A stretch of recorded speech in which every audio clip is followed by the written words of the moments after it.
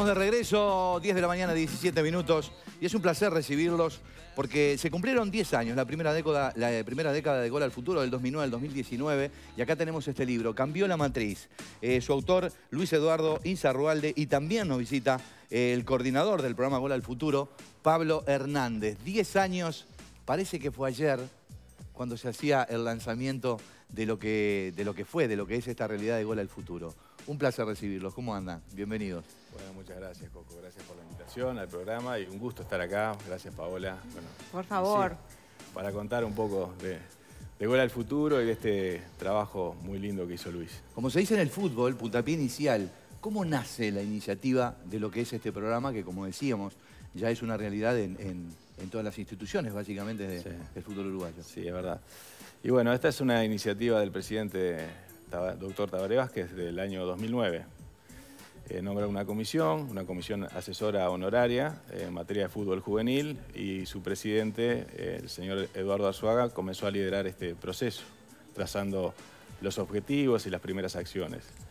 Eh, una comisión amplia que integró, entre otros, el maestro Tavares, eh, el profesor Franco, eh, Chandi, Cáceres, eh, no me quiero olvidar de nadie. gente muy vinculada, gente, vinculada realmente al fútbol, de distintos lugares del fútbol, y que, bueno, que realmente encontraron la forma de llegar con lo que el fútbol necesitaba, con esas cosas que desde los clubes tradicionalmente no se aportan, bueno, se aportan desde el programa. Un programa de desarrollo, un programa que tiene un perfil social sobre todo. Claro, y un programa que hace el seguimiento a los chiquilines que, como siempre decimos en el fútbol, ¿no?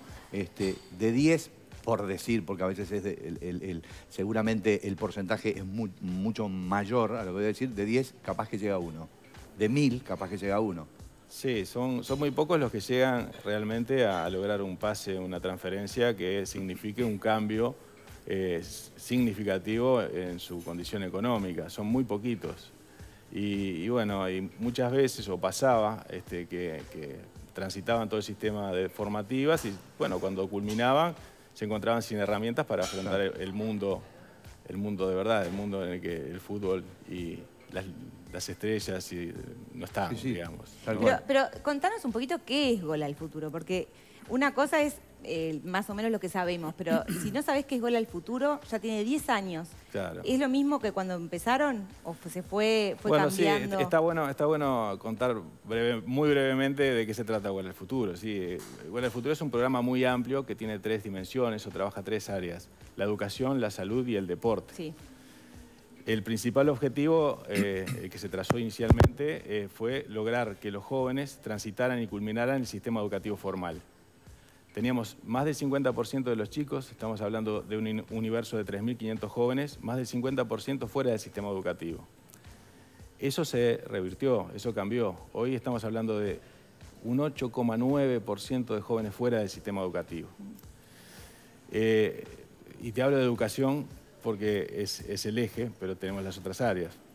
Pero este cambio se logró con acciones concretas, con acuerdos con los clubes, con acuerdos con la AUF.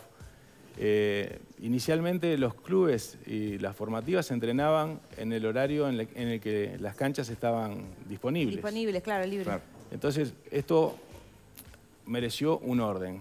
Los clubes se comprometieron a bueno, este, mantener durante todo el año los turnos de entrenamiento. Es decir, el joven que empieza a entrenar en la mañana va a entrenar todo el año en la mañana. Y esto nos permite nosotros a contraturnos conseguirle un centro de estudio que esté cerca del lugar de entrenamiento o cerca de su casa también para optimizar los tiempos del transporte. Eso ya eh, empezó a transformar la realidad, entre otras cosas, porque Luis tiene algunas anécdotas de, cosas que sucedían antes, como lo que contaba Alejandro Garay, ¿no? Este, el sistema fútbol este, no, a ver, no permitía en muchos casos que los jóvenes estudiaran. Mm. Eh, sí, sí, lo que más importaba para los clubes era cómo jugaba el fútbol. Cómo jugaba el fútbol. Básicamente. Eso fue cambiando. Hoy este, eso se ha transformado. Y además el gran cambio, el significativo, y por eso el tema, el nombre cambió la matriz, es que cuando comenzamos se discutía si era posible jugar al fútbol y estudiar.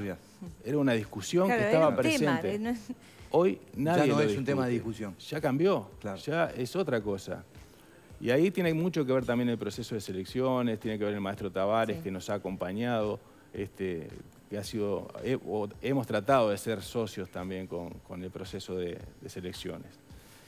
Y este programa es bastante más amplio que eso, o sea, tenemos más de 50 personas trabajando, eh, educadores, eh, asistentes sociales, tenemos psicólogos del deporte, tenemos podólogos, eh, cardiólogos. Qué bueno, podólogos que no es un tema menor para, para un deportista. No es un tema menor. También se han hecho, no me acuerdo bien el número, creo que alrededor de, de 7.000 eh, chiquilines que se le hizo el estudio por el, tema de, la muerte súbita también, ¿no? o sea, detectar todas esas enfermedades que de repente no sabes, no es tirarlo dentro de la cancha, bueno, anda a correr y después nos encontramos con un jueves 5, como se dice. Estamos hablando al día de hoy de casi 9.000 evaluaciones de prevención de muerte súbita.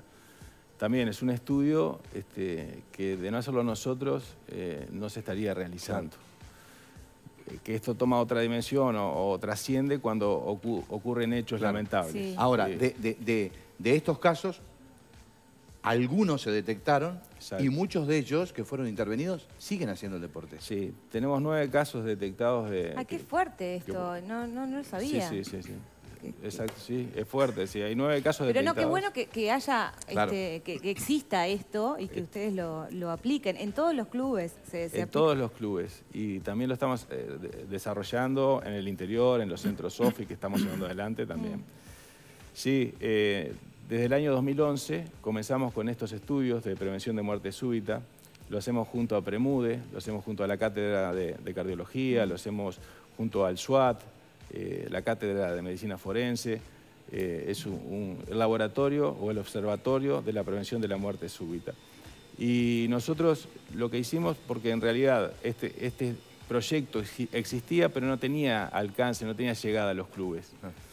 Por una razón, o sea, eh, detectar a un joven con, un tipo de patología de estas podría significar eh, el, fin, el fin de la carrera de, un futbolista. Bueno, pero prefiero que termine la carrera de futbolista y no estamos, Estamos 100% de acuerdo. Por eso comenzamos a, realizarlo. claro. E-, ese fue el motivo. Tal cual. Luis, imagino que quizá con todos estos 10 años y con algunas, algunas de las cosas que, que nos está contando Pablo, y quedan un montón, llevarlo a un libro. No es cosa fácil. Y ahí, bueno, ahí, ahí está el punto de toda esta historia, ¿no? Es decir, eh, yo me integro eh, el diciembre de, 2000, eh, de hace dos años, 2018. he escrito 26 libros de historia de clubes y federaciones, 26 de centenarios de instituciones deportivas y de federaciones deportivas, como para reconstruir la historia del deporte uruguayo. Claro. Y un día me llama Fernando Cáceres, me dice, Pablo, quiero hablar contigo. Eh, Pablo me dice, mira, tenemos algo especial para hacer, escribir la historia de Gol al Futuro. Digo, la historia de Gol al Futuro, pero la historia de Gol al Futuro es, la estamos viviendo hoy. Sí, queremos dejar algo escrito. El primer desafío que se me planteó, porque en general escribo de historia, de, deportistas que ya no están, de triunfos que quedaron en la historia y que, que se ven como hazañas, fue empezar a reconstruir la historia actual en base a lo que sucedió antes. Y así empezamos, empecé a trabajar y en este tiempo, durante seis, ocho meses, hicimos, hice 30, entrevistas mm. Con, distintos personajes del fútbol, del deporte, dirigentes. Y bueno, eh, llegamos a presentar la etapa previa a Gol al Futuro. ¿Cuál fue? Un país donde durante 100 años vivía en un lugar que era estudias o, jugás al fútbol. No había dos escenarios, no había un escenario para los dos, era uno u otro. Y de alguna manera lo que sucedió en estos 10 años fue cambiar ese, como decía Pablo, ese paradigma, exactamente. Pero ¿por qué? Porque estaba impuesto, y por así eh, lo quería resumir en, una frase, que es lo que decía Pablo, que cuenta Alejandro Garay, entrenador de la selección sub-17 de Uruguay, que explica en una frase qué pasaba. Dice, estaba impuesto que si jugabas al fútbol, no estudiabas. Mm o si estudiabas, no jugabas al fútbol. Nadie asume la responsabilidad de haber establecido esa regla en la sociedad, pero todos fuimos cómplices y alimentamos ese monstruo. A los chiquitos se lo hacíamos bien difícil y los complicábamos para que no estudiaran. Les hacíamos mentir para que salieran antes de clase para ir a una práctica. Promovíamos su continuidad en el fútbol a cualquier precio, incluso descuidando el futuro de ellos más allá del deporte. Eso sucedió durante muchos años. Esa era la realidad que vivía el fútbol juvenil en Uruguay. Y bueno, ¿nos, criamos, ¿nos criamos con ese concepto? ¿Estudiás o no? En el libro contamos la historia, por ejemplo, de Axel, Ocampo, que es hoy el psicólogo de la selección mayor, de, la selección de Tavares. Axel Ocampo estudiaba en el Liceo Francés. Ah. Entraba, eh, era de la generación de Luis Suárez, de Cauterucho, entraba al vestuario vestido de uniforme y los compañeros lo veían como un bicho raro. Sí. Axel Ocampo siguió estudiando y se recibió de psicólogo. El fútbol no le permitió llegar a la selección mayor, no fue Suárez, pero se transformó en el psicólogo de la selección nacional. Bueno, pero tampoco fue Suárez, primero porque no es Suárez, pero también con, un con un este, método de estudio como el Liceo Francés en este caso, o con otro, era imposible, también que, practicara y que le, dedicara tantas horas Exactamente, el padre lo pasaba a buscar, lo llevaban al entrenamiento. Eso, esa era la realidad previo a Gol del Futuro.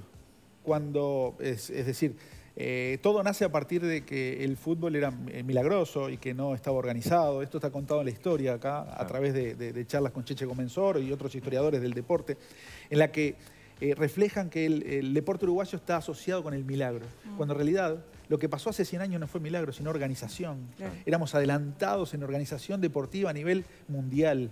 Eh, Uruguay fue campeón del mundo no porque sí, sino porque tiene una estructura armada eh, en preparación, era adelantado. Bueno, eso se fue tergiversando y asociamos con que nuestros éxitos estaban asociados al milagro. Bueno, eh, con Tavares... con Tavares, a, mentira. Claro, exactamente. Y con Tavares se, produce ese quiebre. Paralelamente con, la llegada de Tavares a la selección, nace, nace el, proyecto Gol del Futuro. Bueno, así con Pablo empezamos a ver cómo desarrollarlo. Y en el libro está contada la historia previa a Gol del Futuro, que es el trabajo un poco el que he hecho en, otros, en otras publicaciones. Y después contar en, presente la historia. ¿Cómo se vive? Cómo se vive. Que no es un problema del fútbol.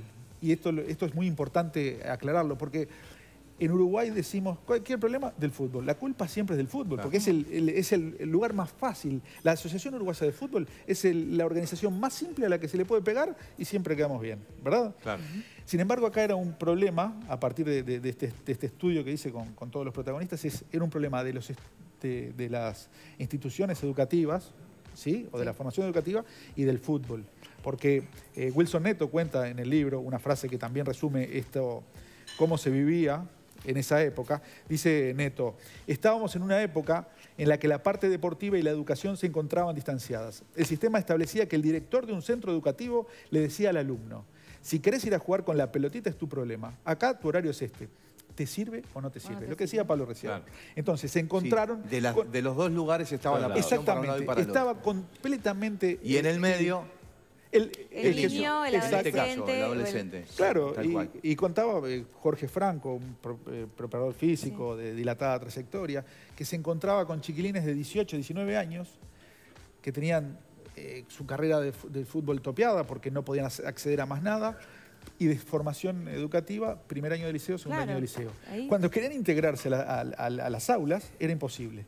Entonces, ese era el escenario previo a Gol del Futuro, que es el que está reflejado en este, este, libro, y que es lo que sigue después, que es todo lo que contó Pablo. esa integración de la pelota a los libros y de los libros a la pelota, que fue de los dos lados, que no fue solo del fútbol, sino fue de los libros, a través de Wilson Neto, que cuenta en el libro, que se remangó él personalmente fue hablar con los directores y decirle, esto tenemos que hacerlo así. Y los directores decían, no, son futbolistas. Hmm. Están por fuera del sistema educativo. Entonces generó una transformación que fue el cambio en la matriz de que Además de todo, muchas veces pasa que después que terminan su carrera siendo muy jóvenes, tienen que, tener una vida además del fútbol y muchas veces no están preparados para saber dónde invertir, dónde, cómo seguir. Entonces está buenísimo que tener un estudio, algo que te, te respalde. es, muy importante. Eh, Luis, ¿dónde se encuentra el libro? Eh, la palabra tiene Pablo. Yo lo escribí, mi tarea es escribir. Yo, escribo, escribo. Acá está, ahora, lo entregaste. Hasta, ahora, hasta ahora escribía de historia de los clubes. Eh, el libro no tiene costo. No tiene costo, no tiene costo. Es importante. Lo pueden retirar en las oficinas de Gola del Futuro, en el Estadio Centenario, palco oficial. Bueno, ahí llegan de 10 a 18 horas hay gente si son del interior pueden enviar un correo a golalfuturo.gmail y se les envía. Y se les envía. Qué, genial. ¿Qué, va a pasar con el cambio de gobierno? Y por lo que hemos hablado, la intención es continuar con el programa, continuar con Gol al Futuro. Este, ayer tuvimos nuestra primera reunión de, transición personalmente y, bueno, esa es la intención. Así que bueno. Y creo que la intención se va a dar porque vos recién decías un montón de gente y sin olvidarte, porque son un montón, decimos un montón, es un montón. Sebastián Bausá, que es supuestamente quien va a quedar a cargo, este, estuvo, formó parte. de lo que es Gol al Futuro. Sebastián era el presidente de la AUF en ese momento, trabajamos muy bien junto a Sebastián este, realmente, así que sí, la intención, lo que nos transmitió es que desea continuar, profundizar el programa y bueno, este, esperamos que... La última, y, le deseamos éxito. por supuesto. La última antes de irnos. Seguramente este, se sienten muy felices, te sentís muy feliz por un montón de cosas que ya son realidad. Para adelante hay muchas más por hacer. Sí, hay muchas más.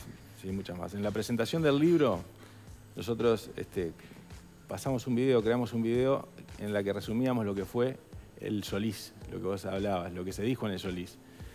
Lo que se dijo se cumplió y están los números. Me acuerdo haber estado en ese lanzamiento. Estuviste. Y se cumplió con los objetivos. Se cumplieron. Eso te llena de satisfacción. El libro también habla de qué cosas tendríamos que seguir haciendo, por dónde tendríamos que seguir profundizando. Hemos comenzado a trabajar en este periodo con el interior del país, con OFI. Entendemos que es por ahí. Tenemos que seguir apoyando al interior para que cada vez lleguen más tarde los jóvenes a Montevideo, porque también ese es el problema, vienen muy jóvenes del interior y después la realidad este, no es la que muchas veces se imaginaba. Eso por ahí y apoyar mucho más aún al fútbol femenino, que lo hemos apoyado, que ha crecido, se ha duplicado la cantidad de, mujeres que juegan al fútbol. Desde el programa, desde la Secretaría, también hay acciones concretas que, que hicieron que esto sea posible. Y bueno, es por ahí, el interior y el fútbol femenino. Muchísimas gracias, Pablo. Gracias, Luis. Felicitaciones. Y, este, y bueno, hay mucho camino. La pelota sigue corriendo todavía y está dentro de la cancha. Vamos arriba. Gracias. Eh, nos vamos a trato hecho, vamos a conocer la historia de Cecilia. ¿Te parece?